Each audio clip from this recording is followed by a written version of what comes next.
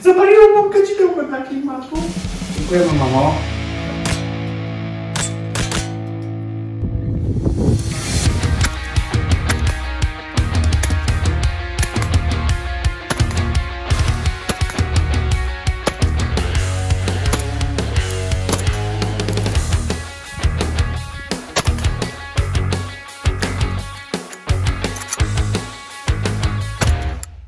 I to będzie film o O kolimatorze Holosun HS512C, czyli o zamkniętej wersji kolimatora HS510C.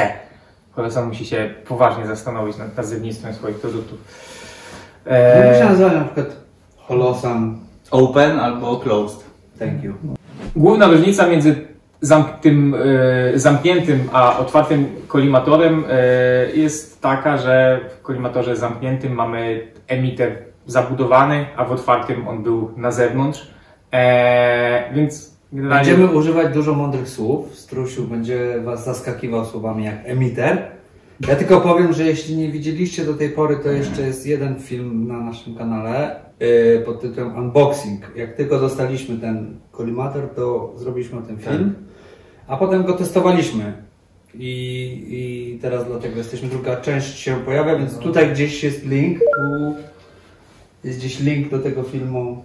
HS512C od HS510C różni się tak nawet tylko budową. Jeśli chodzi o elektronikę, e, wszystko jest tak samo. Tak?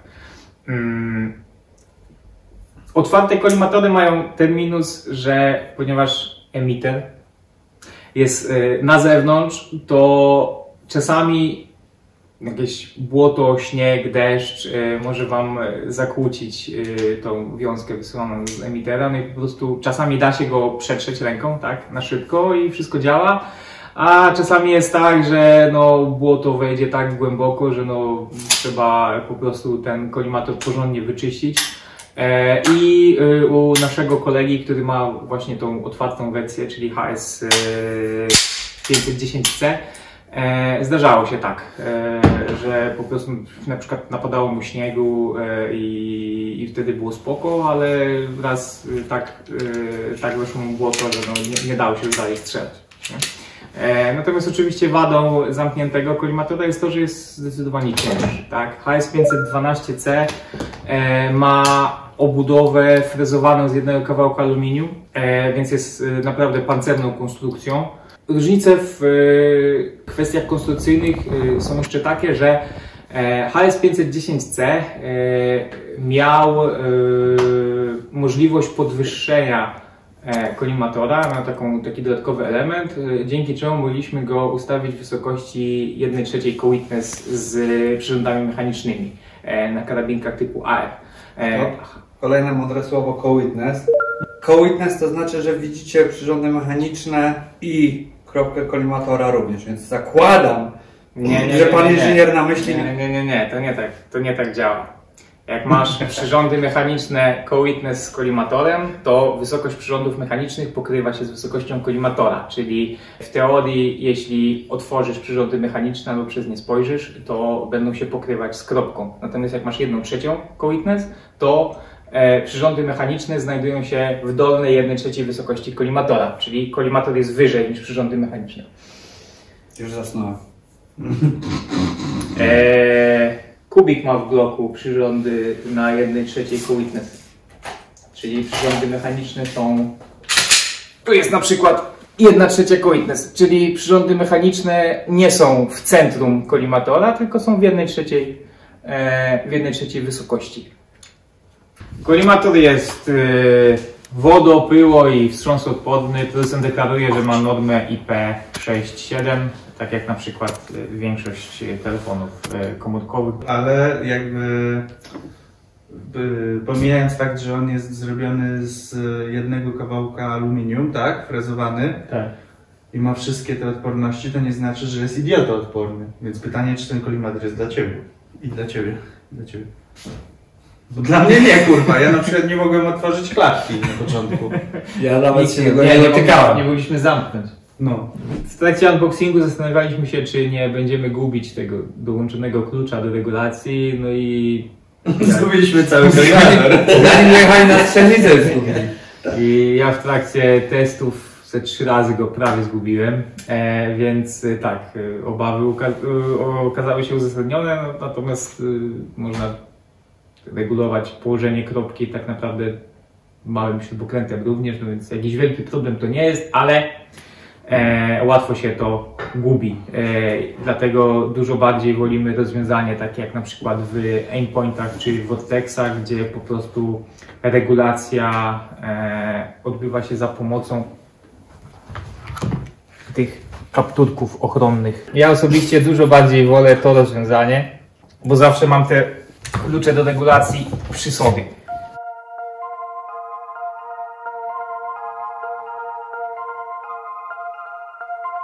Jeśli chodzi o znak celowniczy, to składa się on z kropki o wielkości 2 moa i okręgu o wielkości 35 moa i możemy mm, go ustawić w kilka trybów, to znaczy możemy pokazać samą kropkę, kropkę z kółkiem, e, samo kółko, w zależności od tego, e, co nam bardziej pasuje.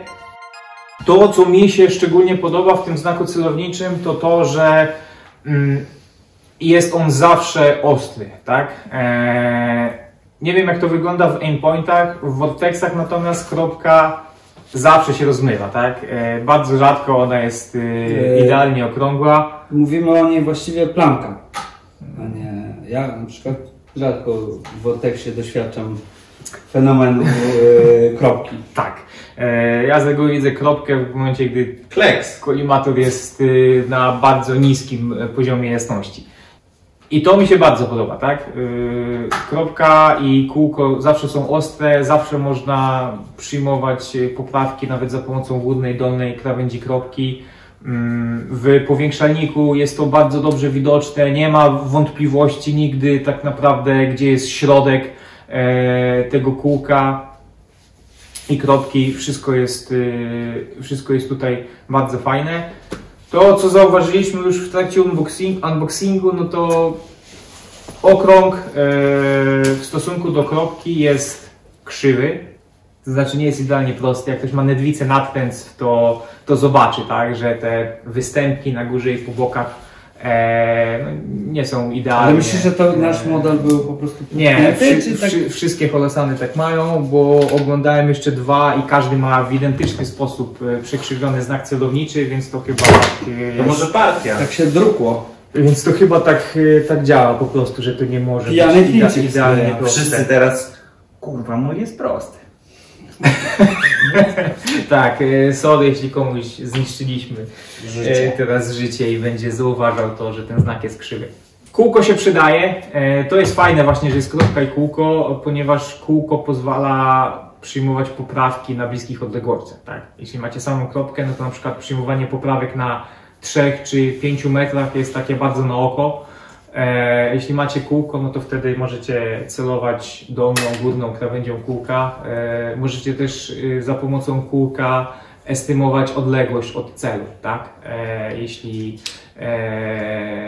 jeśli wiecie w jaki sposób to robić, y, więc y, jest to bardzo fajny patent. A jak komuś kółko jest nieprzydatne, to zawsze może je wyłączyć i ma samą kropkę i wtedy się nie przyjmuje.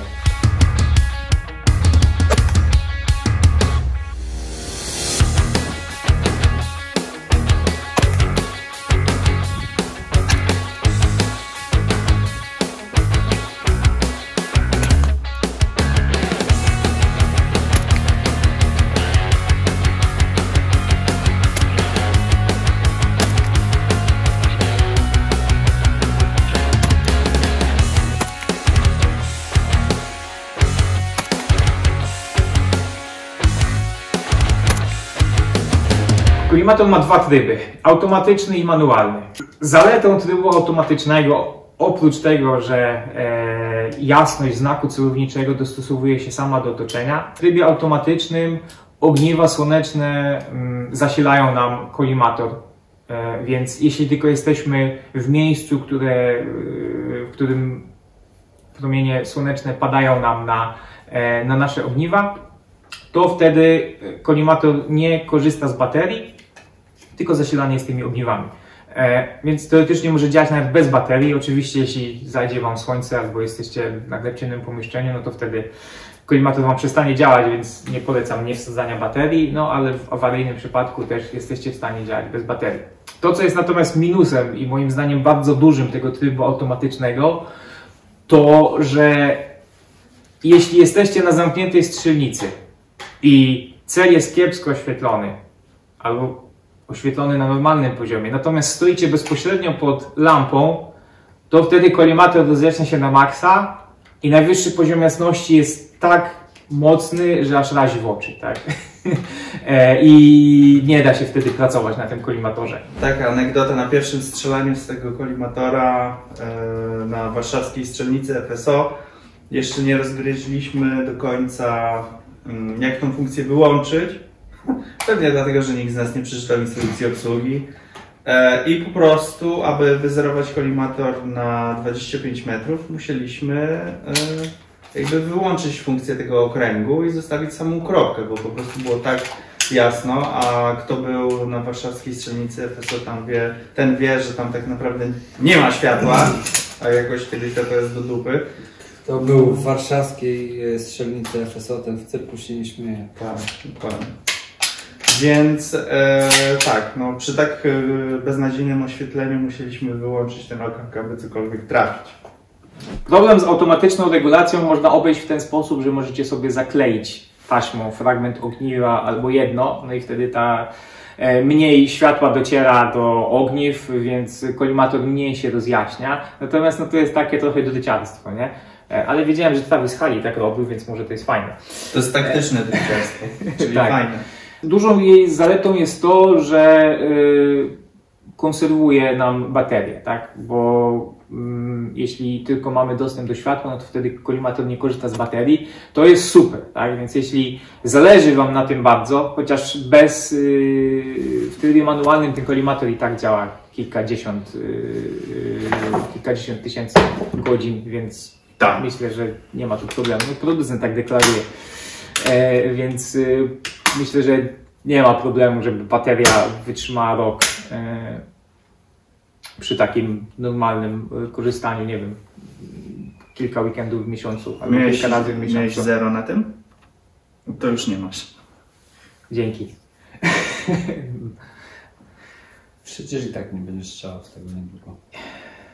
Tryb manualny ma 12 poziomów jasności, 10 dziennych i 2 do strzelania z noktowizji. Nie mamy noktowizorów, bo nas nie stać, więc... y, Ale bardzo byśmy chcieli mieć, także jest super firma polska Next Gen, tak? Tak. Także chłopaki, no byłoby ekstra. Jakbyście chcieli nam pożyczyć noktowizor, No. to O. chętnie się pobawimy. I Jeśli chodzi o współpracę z noktowizorem, nie tylko się liczy jasność kropki, ale też jakość szkła, tak? Bo możecie mieć kropkę, którą będzie dobrze widać w noktowizji, nie będzie za mocno świecić, a jakość szkła może być taka, że e, światło w ogóle nie będzie przez to szkło docierać do noktowizora i wtedy i tak nie będziecie widzieć celu, więc e, no, zawsze trzeba to sprawdzić. Nie można się sugerować tylko tym, że kolimator ma e, poziomy jasności działa, e, dostosowane pod noktowizję.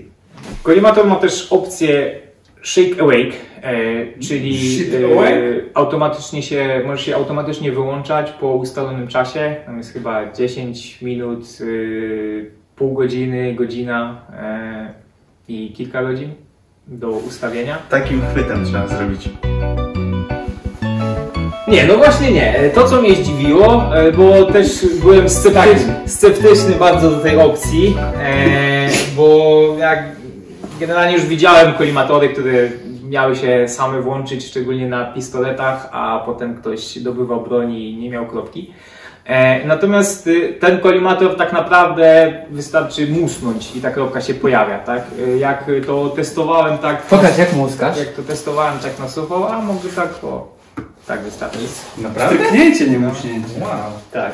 Nigdy nas nie zawiodło, no ale też y, nie korzystaliśmy z tego kolimatora przez y, nie wiem, więcej niż pół roku, więc tak naprawdę to nie wiem jak bardzo, e, jak bardzo ta opcja z biegiem czasu mm, jest niezawodna.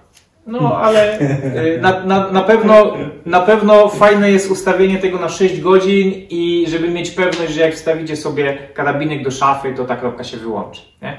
e, to, to wtedy jest spoko, zaoszczędza Wam baterię. Na 10 minut czy coś tego bym nie ustawiał, no bo jednak w trakcie treningu czy zawodów aż tak na 100% bym temu nie ufał.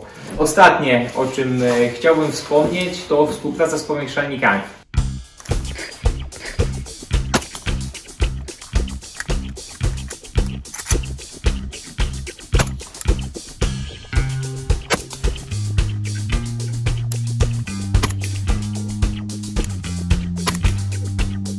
powiększalnikami. Kolimator nie ma dodatkowego elementu, który pozwala go podwyższyć, natomiast jest na e, domyślnie jest na wysokości co-witness, więc współpracuje z praktycznie każdym popularnym powiększalnikiem. Sprawdzaliśmy go na powiększalnikach Horosana, tu oczywiście działa bardzo dobrze, ale też działa dobrze z Vortexami, e, zarówno mikro, jak i tą e, normalną, dłuższą wersją. Natomiast Dużym minusem jest to, że ten kolimator jest długi. I długi. I w momencie na przykład, gdy mamy e, karabinek AR-15, to po zamontowaniu tego powiększalnika, znaczy tego kolimatora i powiększalnika, nie wejdzie nam już e, większość e, zapasowych przyrządów mechanicznych e, nad komorę. Z montażem większości przyrządów mechanicznych będziecie mieć problem, chyba że macie powiększalnik, który ma bardzo małą podstawę, czyli na przykład Vortex Micro e, jeszcze daje radę e, w tej konfiguracji i, i zostawia trochę więcej miejsca, więc, y, więc tutaj jest trochę łatwiej. Ale warto mieć to na uwadze, tak?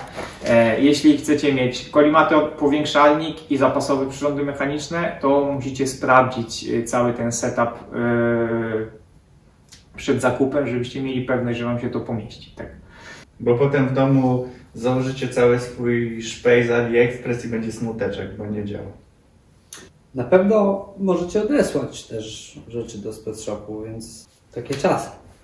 Easy. Chcieliśmy bardzo podziękować sklepowi Spec Shop, który znamy już Kochamy od was. wielu, wielu, wielu lat. Wspierał nas na naszej taktycznej drodze Rozwoju. rozwoju i jest super. Wspiera y, środowisko y, i to jest najważniejsze, bo lubimy pracować z firmami, które y, oprócz zarabiania to dają coś od siebie i Spec Shop jest takim sklepem, dlatego możemy ich rekomendować. E, dziękujemy Spec Shopie. Co jeszcze? Chcieliśmy powiedzieć, że możecie do nas śmiało pisać, jakie byście chcieli filmy zobaczyć, bo wiem, że ostatnio pisaliście, że chcecie zobaczyć film o karabinku tym, więc szykujemy taki film. Mamy jeszcze drugą fajną klamę, e, znaczy drugiego fajnego AK. I o tych dwóch nagramy coś specjalnego. Odpalamy też stronę internetową, na której nie wiem, czy już mamy ją. Jeżeli tak, to y, w opisie będzie będzie na dole. E, mamy zamiar tam zebrać e, trochę wiedzy, którą chcemy Wam dać e, za darmo, skomasowaną. Za darmo? Ty też znasz Za darmo? Ja uczę się od Stefana, on rozdaje darmowe proszczeki. Nie, ale też y, mądre słowo znasz. A co powiedziałem? Skomasowane. Skomasowane. Bardzo zależy nam na tym, żeby podbić e, naszą ilość e, subskrybujących e, na YouTubie, Dokładnie. więc w tym programie prosimy Was właściwie tylko o to. Zasubskrybujcie, szerujcie, udostępniajcie ten wspaniały program, a dzięki temu będzie Wam dane oglądać nas jeszcze więcej. Szukajcie nas na strzelnicach, na zawodach, zbijajcie z nami piątki, dawajcie nam napiwki, wysyłajcie buziaki. I pamiętajcie, że Wysłać najpierw swoje trening, dziewczyny. najpierw trening, a potem szpej, tak? Nie, nie. Na Najpierw końcu szpej, a potem szpej. A trening to tylko tam, wiesz, zdjęcie na Insta, potem szybko do szafy, wszystko. I potem Mateusz do ciebie pisze, ty masz łeb żółwia, mordo. Który Mateusz? On już wie, który.